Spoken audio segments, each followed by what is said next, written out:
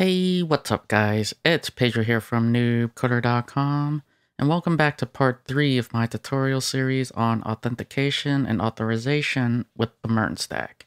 And in this tutorial, we're going to be going over the passport part. So if you don't know, passport is authentication middleware. Alright, so the first thing that I want to do is I want to actually install a couple of modules. So let's open up the terminal. Let's clear this. And the first thing I'm going to install is Passport. So I'm just going to say npm install Passport. So this is going to be our main module. Now, the second thing I want to install is Local Strategy. And Local Strategy is going to be used to authenticate against a database using your username and password. So I'm just going to type npm install passport local. All right, so now that we got that out of the way, let's close the terminal. And we're going to install more uh, modules later. But for now, I'm going to head over to my Explorer, new file. I'm going to create passport.js. And we're going to require the modules that we just installed. So I'm going to type const passport. And we're just going to require that. Next, we're going to require the strategy that we're going to be using, our local strategy.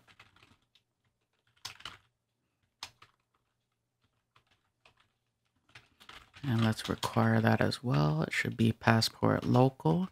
And we're going to say dot strategy because that's what we want to pull out. Now, in order for this to work, we're going to actually have to require what we did in the last tutorial. So we created this user model. So this is what we're going to be authenticating against, right? So Passport is our authentication middleware. Our local strategy is how we are going to be authenticating against. So we're going to be using a username and password against a database. And remember in our previous tutorial, we created this user model. So this mongoose model. And we have our username and password here. So now we're going to have to require this into our passport file. So I'm just going to say const user and we're going to require this. So we're going to go inside the models folder and we're going to require the user. All right, so now let's actually use this. So I'm going to come down here. I'm going to say passport.use and we're going to pass in our local strategy. So I'm going to say new local strategy. And this local strategy is going to take a verify callback. So let's pass in a function here. And it's going to take in a username. We're going to get back the password. And we're also going to get a done function. So now obviously username is going to be from the client and password is going to be from the client and done is going to be is a function that's going to get invoked when we are done. Okay, so the first thing that we need to do if we are to authenticate against a database is to actually check to see if the user exists, right? So I'm going to say user. Now this is Mongoose stuff. So I'm just going to say user dot find one. And we're going to find by the username. So we're going to query the database to see if this user exists. And the second thing we get back is a callback, and we're going to get the error object, or we're going to get the user. Okay, so if there's an error, obviously something went wrong when we tried to query this within the database. So maybe the database is down or something. So I'm just going to return the done function and we're going to pass in the error. Okay, so let's comment this. Something went wrong with database. Okay, the second thing that can happen is what happens if there is no user. So if there is no user, the client is trying to sign in to an account that doesn't exist, right? So we're just going to say return the done function.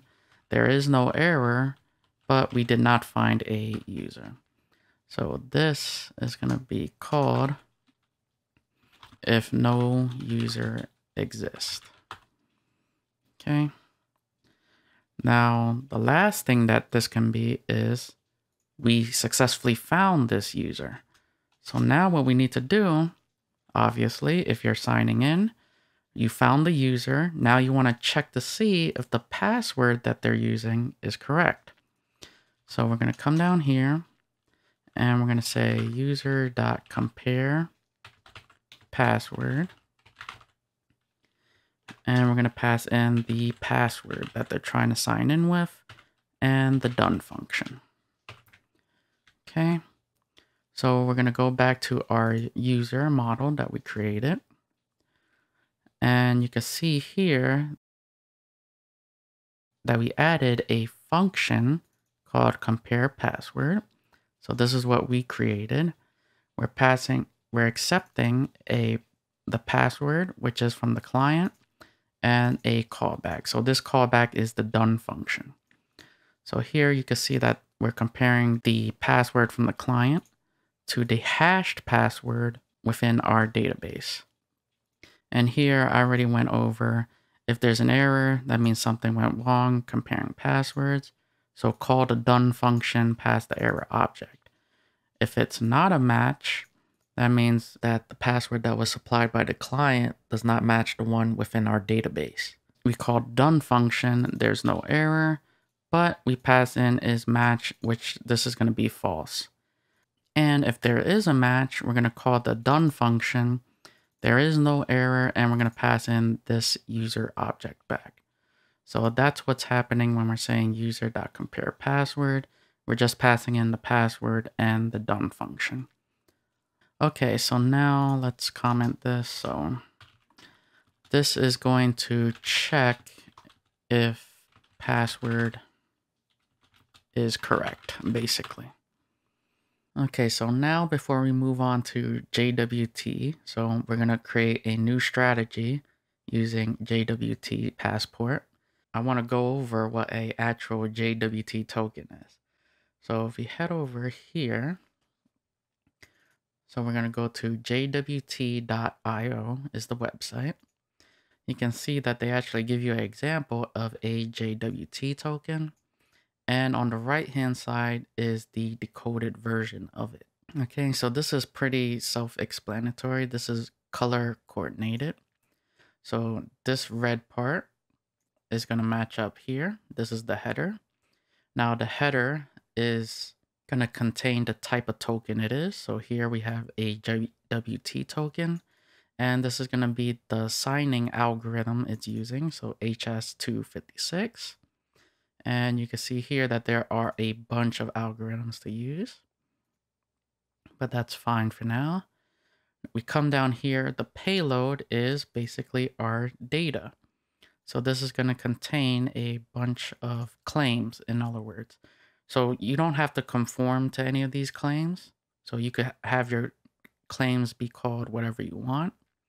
But in this example, they have sub, and sub is the subject. So who is this token for? And you would typically set this to the primary key of the user because it has to be unique. And the primary key guarantees uniqueness. Then you have the name. This could be whatever. IAT is when was this token created? And usually you would have another uh, property here called expiration. So EXP. And that would mean how long do you want this token to be good for? So in this example, they don't have that, but you could set an expiration for how long that token is valid for. So if a user signs in, you create a JWT token for that user, and then that token is good for the next 30 minutes, for example. Okay, so that's the payload. One thing I would like to point out is that this is not encryption. You see here that we have a JWT token, and we could clearly see everything within that JWT token. So you might be tempted to put sensitive information within the payload, don't. So, for example, don't put the user's credit card information here. Anyone who gets access to the JWT token can read it. So, never put sensitive information here. And then the third part is where the magic happens. It's the signature part. And the signature is made up of the header. So we had the header here. We base 64 the header. We append the period here. And then we base 64 the payload. So it's basically all this. And then we take HMAC SHA 256 and this was defined within the header. Remember, we told it to use this signing algorithm. And then it uses your to sign this JWT token. Okay. So this is to prevent people from changing your JWT token. So for example, let's say that uh, I want my JWT tokens to last for 10 minutes. Someone can modify it and say the expiration date and let's say they want it to last for an hour. Based on this signature, since it's based on the header and the payload, if they modify anything within the JWT token, it will invalidate it. Okay? So that's what makes it secure, in other words. Okay, so again, um, if that wasn't explained clearly, you could go to the introduction page and it really is a short read. And what we're going to be using JWT tokens for is authorization. So once the user is logged in, each subsequent request is going to include the JWT token. So that's what we're going to be using JWT for. So let's head on back. Okay, so now that that is out of the way, let's open up the terminal again. And let's install our Passport JWT strategy. So npm install passport JWT. Okay, let's exit out of this and let's require it. So I'm just going to come down here, const JWT strategy, and we're going to require it.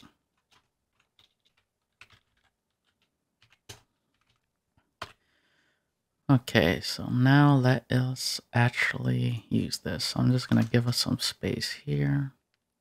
And I forgot to add strategy here. So let's add that. Okay. So now what I'm going to do is going to say passport dot use and we're going to use the strategy. So I'm going to say new JWT strategy. And the first thing we're going to do is pass in an options object. So the options that we're going to be using is JWT from request. And this is going to be a function called cookie extractor. And I'll explain what this is going to be doing in a second. The second option is the key that you use to sign the token. So that's going to be called secret or key. And we're going to set that to noob coder. Okay, so first we know that we need to get authenticated. So this is going to be triggered when we try to authenticate, when we sign in using our username and password. Once we are authenticated, what's going to happen is we are going to set a cookie on the client's browser and this cookie is going to be the JWT token. So what this property is saying, JWT from request, is this is the, a custom function that we're providing to extract the JWT token from the request, basically. And this secret or key is going to be used to verify that this token is legitimate. So first, let's actually create this cookie extractor function. So first, I'm just going to say const cookie extractor. And we're going to get back the request object. And we're going to say let token is equal to null. And then if the request object is there and request.cookies is not empty, we're going to check to see if there is a JWT token there. So I'm just going to say token is equal to request dot cookies. And we're going to set the cookie as a access token. So that's what we're going to call it. Then all that's left to do is return the token. Okay. So pretty self-explanatory. All we're doing is extracting the JWT token from the request and the secret or key is going to be used to verify that that token is legitimate.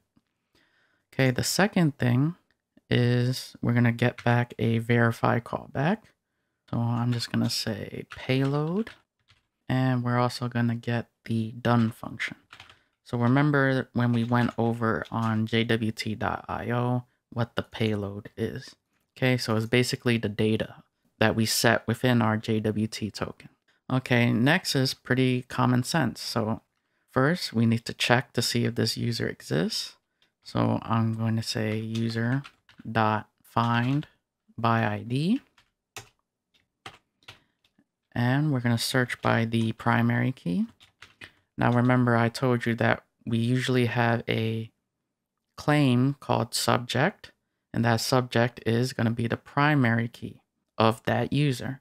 So now what I could do is I could say payload dot sub. Okay, and we get the same callback. So we get an error or a user. Okay, so the first thing we're going to do, check if there's an error. So if there's an error, we're going to return the done function and we're going to return that error and we're going to say false. Next, what we're going to do is check to see if the user is not null. If it's not null, that means we can return that user. So I could say return done null and user. Now, the reason for being that is we've already been authenticated down here. So we do not need to check the password in case you were trying to compare the two. So we already know that this user is authenticated. Otherwise, how else would he have this JWT token to begin with? So if there's a user that goes by that ID, we pass in null for the error object and we pass the user himself. Otherwise, we know that this is false. So I'm just going to say else return done. There's no error, but there is no user that has that primary key. Okay. So let's actually comment this. So this is going to be used. So this middleware is going to be used for authentication. This local strategy using username and password. So this is only going to be used for when we log in, basically. And this middleware here is going to be used for authorization. So this is going to be used wherever we want to protect a resource. So for example, in the first video I did, I showed you our to-dos. We want to protect that endpoint. And I also had a admin panel. So you would use authorization to protect the endpoints that you're interested in protecting. So this is pretty much all I want to cover for this tutorial. And in the next tutorial, we're actually going to use these middlewares that we created. I'll see you in the next video.